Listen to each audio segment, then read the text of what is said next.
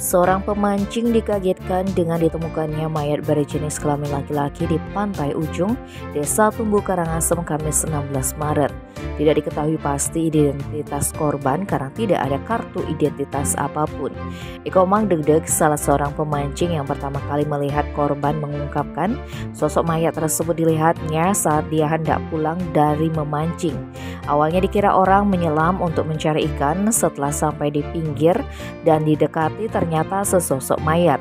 Ia bersama teman-temannya langsung mengangkat mayat tersebut kemudian diinformasikan ke Polsek Karangasem. Kan Krim Polsek Karangasem AKP Imade Sudiartame mengatakan identitas korban masih diselidiki lantaran terdapat sejumlah luka di tubuh korban.